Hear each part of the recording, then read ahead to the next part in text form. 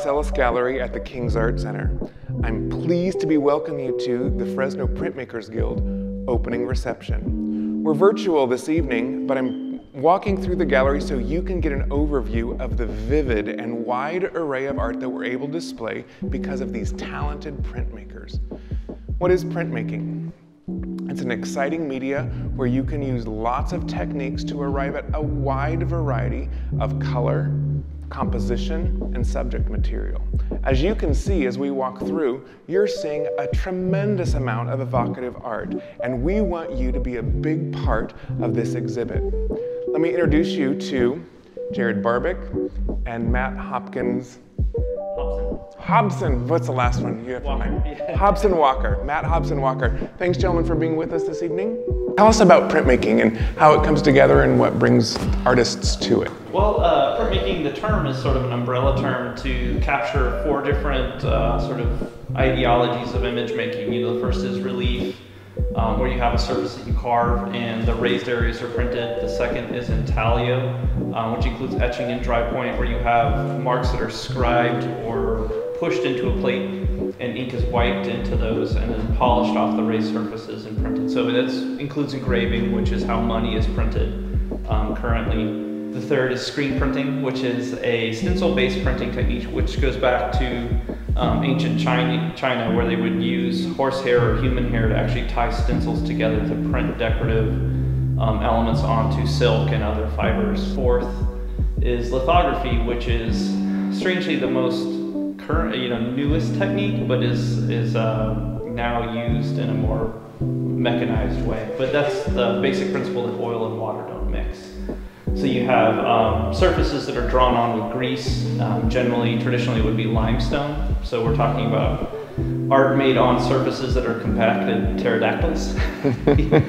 so it's from the same sort of you know um, age or, or uh, layer as marble is, and some people actually use marble for it as well.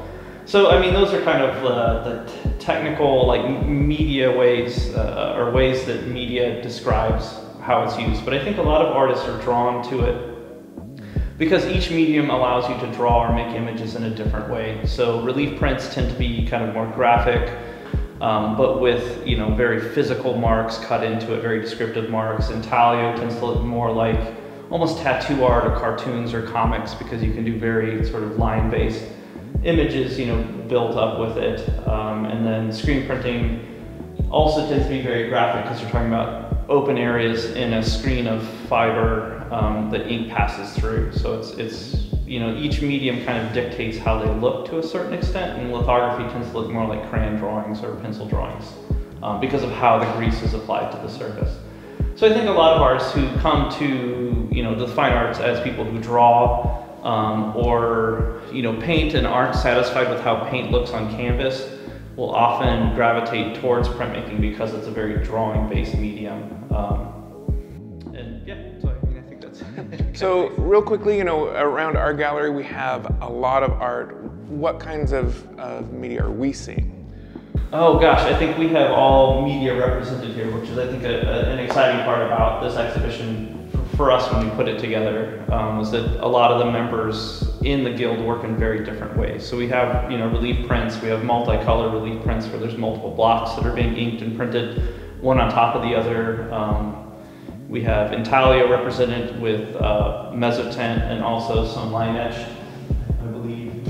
Um, the example that Dan brought is a line etching. Um, and then with lithography, we have Matthew Rangel's work, which is kind of beautifully captures different information about the area, the Central Valley, and the mountain ranges around us. Um, and then screen printing, which is kind of what a lot of my work is based in, um, which is behind me over here, uh, is represented in my work. Which, you know, kind of, you know, I, I think the most well-known screen printer would be, you know, the work made for Andy Warhol or by Andy Warhol, which okay. uh, was printed on canvas and he referred to as paintings, but they're essentially screen prints. Okay. You know?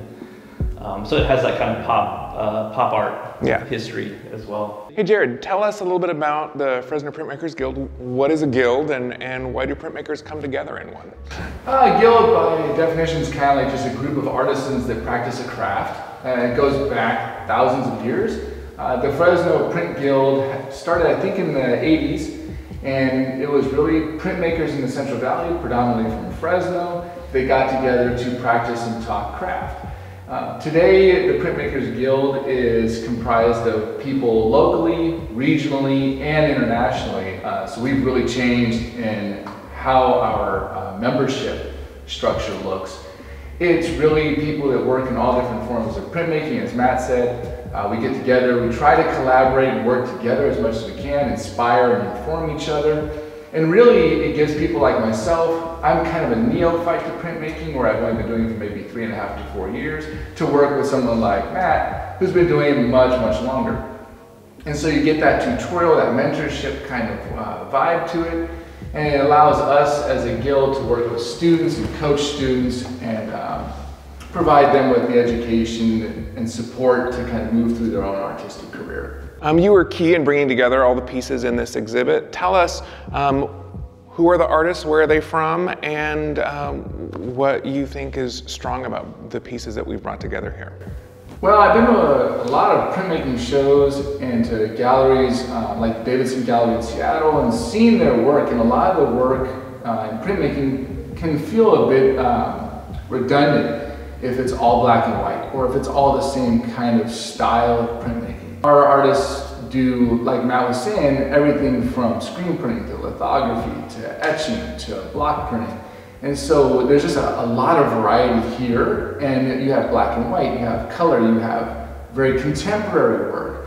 You also have works that um, are socio-political, that are environmentalist. So you see just a huge array of styles and content and subject matter. Um, our members um, really are like Roger uh, is from Los Banos in that area. He just moved up there. Victoria, who does mezzotints, is in Australia, in Melbourne.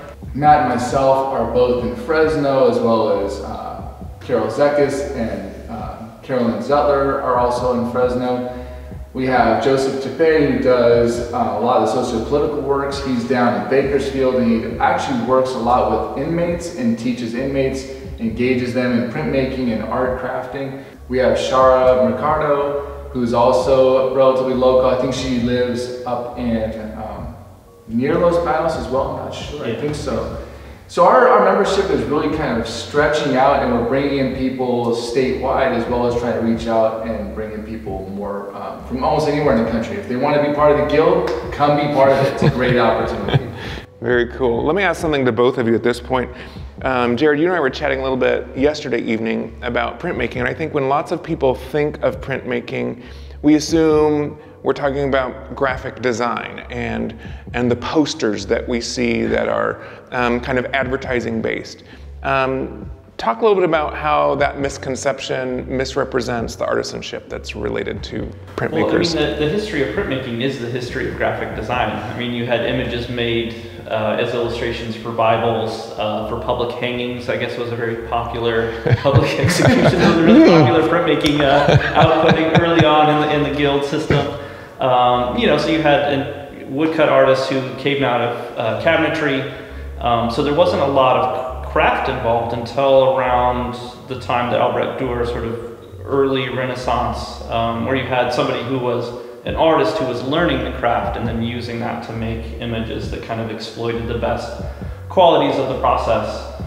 Um, but, uh, you know, as images were used to sell ideas um, with printmaking, because it was something that could be made as a multiple and disseminated, um, then you had type and text started to get included in that, and then you know that kind of led us to movable type. People, uh, because printmaking is often used, or commercial printing is often used for graphic design's sake nowadays, um, and that includes some of the techniques and technology that we employ as artists. Um, I think printmaking artists tend to be more focused on not just the craft aspect, but the sort of um, emotional or expressive elements that are available in each process. I think also the, the other misconception that you see is that when people hear printmaking and graphic design, they assume that I, I, sit in front of a computer and I'll work out the image in Adobe Illustrator or Photoshop, and I simply just print it on my inkjet printer in my house, and I'll frame it, and, that, and that's representational of the, the piece of art. Uh, there's very little of that involved in printmaking. Printmaking uh, is more visceral, it's far more layered and complex. Um, the drawing part of it is usually done by hand on either paper or some other medium and then transferred over to either a stone or a plate or a piece of wood. Um, and then you either, you have to get real tools and, and cut things out and you gotta make it happen and you gotta bring it to life and then you would transfer it to paper using ink in some way. Um, even if it's a screen, it's, it, you still have to go through a series of processes to transfer the image to the screen, to make it so that the ink can go through certain holes and transfer it to the paper. So it's really not as simple as uh, just rendering an image on a computer and printing it like in, in my living room or in my office. Yeah. And I think that's probably the biggest misconception. Yeah. Generally, is that people think printmaking is that. Yeah. Um, yeah. And so. Well, and I think Andy Warhol is a great anchor point for us to discuss in terms of fine art, um, because it's someone who's accessible to all of us and who we understand as a fine artist. And we hear screen printing and we think T-shirts, you know, right? when we don't think of the multi-layered deep, meaningful, creative, expressive works that we're seeing on our walls in here. So thanks for sharing today those kinds of things. We encourage you to come join us here at the Marcellus Gallery. While we weren't able to be together live and in person tonight for our opening reception, the gallery doors will be open during our regular time. We'll be social distancing and safely wearing masks for you to come and visit our gallery at a 25% capacity, which is pretty easy for us to manage here. So please come down and see this exhibit. We are really pleased not only to be presenting the art here in our gallery, we also have um, examples of the media that's used to create this art that you can read about and discover more about printmaking. So Matt and Jared, thanks for being with us this evening for opening reception. Um, welcome everyone to the King's Art Center and the Fresno Printmakers Guild exhibit in the Marcellus Gallery.